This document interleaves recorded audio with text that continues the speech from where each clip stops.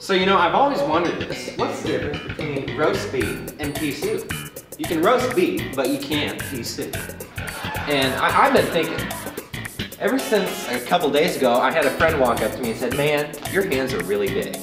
And I'm thinking, huh, they are pretty big. And, and everyone in my school calls me Mittens. Mittens suits these big hands.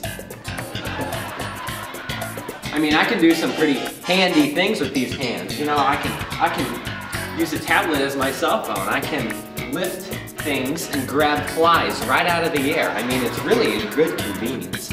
You know, I'm, I'm the best fly swatter in my house. I can just swat flies. We don't need to buy a fly swatter.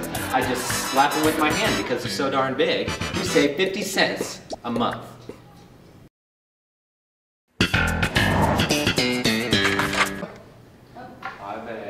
Failed that test yesterday. Oh, hey guys, I haven't seen you in a while. How are you doing?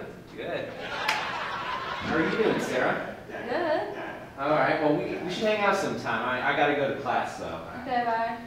Dude, that guy has huge hands. They're like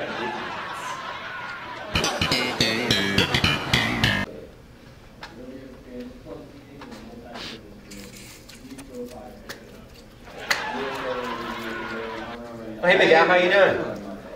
Going good.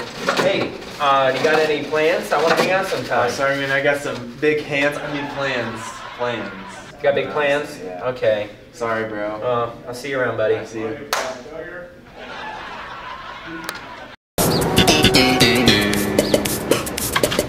Alex has been acting weird ever since I shook his hand that one day. You have any reason why? Well, maybe it's because. Uh, hold on. You got something right there. Right there. No, no, there. Right there. Here, I, I got it.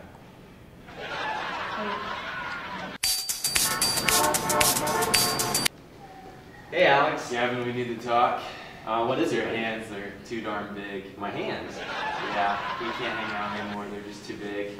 I gotta go, What? man. No, but Alex, wait. No!